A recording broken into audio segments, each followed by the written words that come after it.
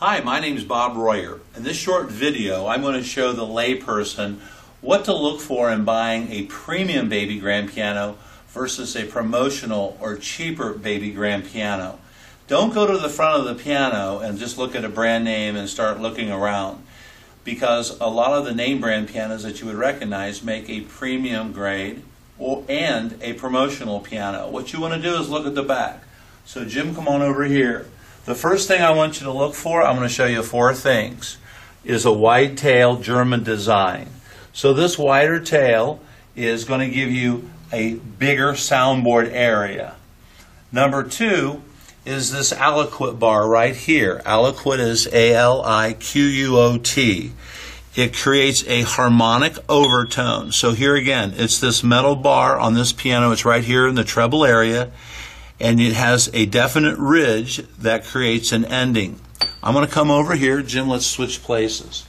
This is how it works, and this is very important. When I strike a key, the hammer strikes the string, the strings vibrate this bridge like a guitar or violin. The bridge then vibrates the soundboard. But what it is, is this kind of creates the major tone, and this creates a harmonic overtone. It's subtle at first, but upright pianos don't have aliquot bar. I think I know two that do. So you want to hear that beautiful singing treble area that's created by that aliquot bar. The next is first of all, so you have the wide tail, the aliquot bar, you want to hit right here. This on the larger beam you want to hit. It should have a real low, thuddy overtone. So this is 100%, 100% cast iron plate. It's a wet cast plate. And what that means is it's like it's created in a wet sand and clay, and it's the it's known as the the, the stronger of the types of cast iron. The other is a dry cast plate that's kind of molded uh, in a dry heated. It's made very quickly, but it creates an overtone. You want that low thud, and that's what this is. Next of all, this is what you see around here is what they call an outer rim. They all look like this. Underneath here is a part called the inner rim, and it's about two inches thicker, and it's connected to this, and it goes all the way around. That's what the soundboard is glued to. This is what the cast iron plate is bolted to. It does three basic things. It's overall strength, tuning stability, and also it reflects the sound producing energy that the piano makes and reflects it back into the soundboard so it keeps sustaining. The premium grade pianos, you're just going to have to look at the specifications, have a dense wood that absorbs the sound. This is a hard rock maple rim. Premium grade pianos have a harder inner and outer rim that reflects the soundboard. Once you have seen the piano from the back end, the wide tail, the aliquot bar, you just go ahead and bang on this and read the specs if you want. Then you want to come to the piano, and I'll keep this on. And don't be intimidated if you don't know how to play the piano. Some of the people who don't play have the best ears I've always found. The third note in is a C. It's a really good note to, to try.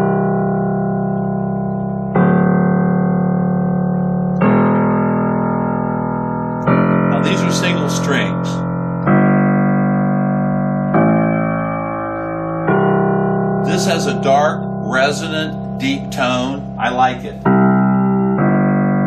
So that's basically one third of the piano. I'm looking for that dark sound. This, here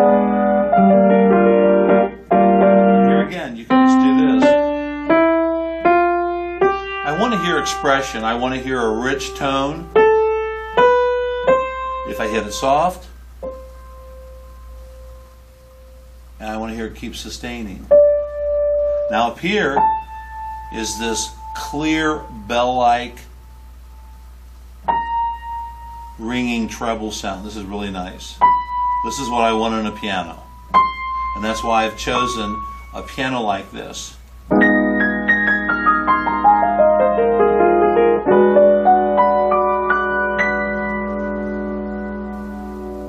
This will last 30 seconds if I wanted it to.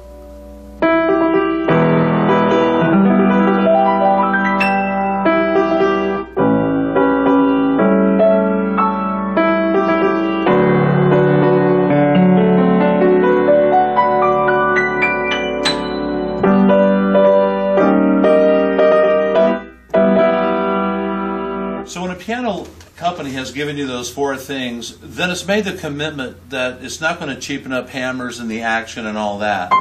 Now, some pianos are brighter than others. We can voice the piano down. That's a little different issue.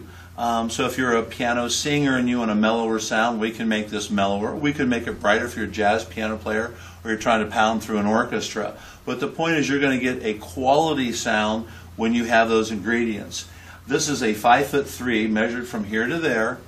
Hallet Davis. It's a very nice piano, small piano company, not a really big company.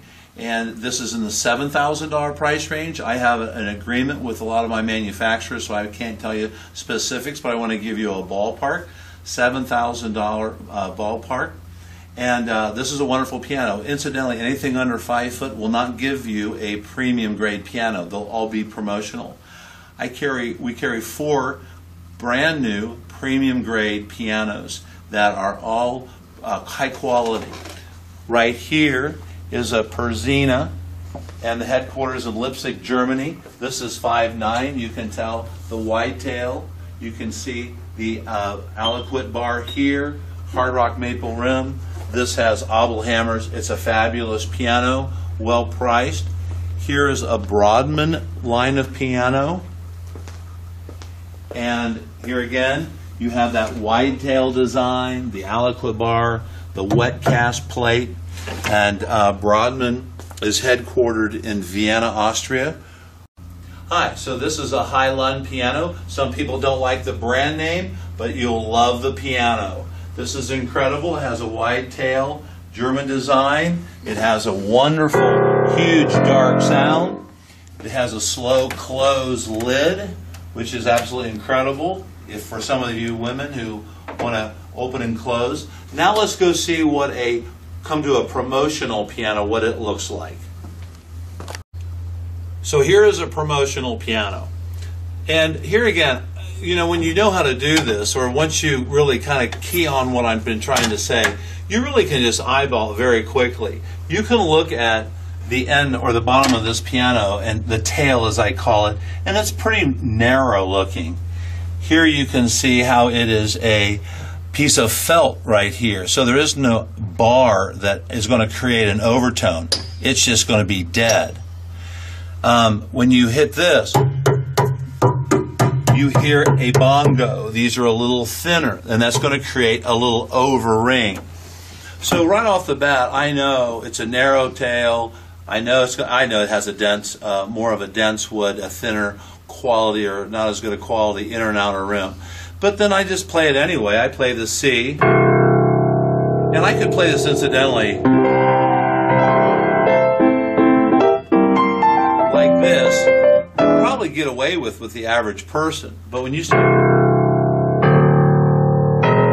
it just has that thuddy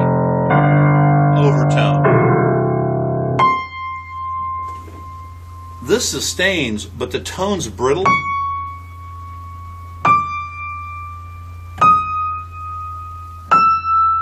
And it might be hard for you to hear it, but the overtone is wavy.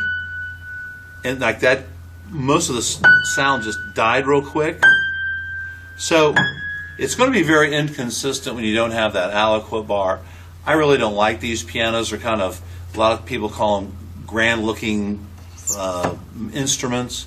Uh, it's not something you're going to be fall in love with. So uh, I hope this video helped you as far as a small education on what to look for when buying a quality piano you're going to fall in love with. Uh, you can email me direct at Bob Royer, that's my name, B-O-B-R-O-Y-E-R at gmail.com. We're open seven days a week. Call me if you have any questions at all about any grand piano. I've been a dealer for 25 different piano lines. I've gone through 25 different factories. I know a lot about pianos. I'll be glad to help you. I don't care where you live. Uh, just give me a call. We're open seven days a week. Thank you.